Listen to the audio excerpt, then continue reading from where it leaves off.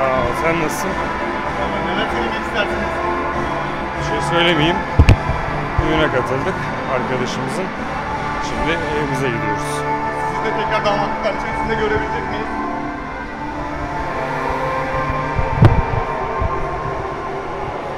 Dikkat et ya.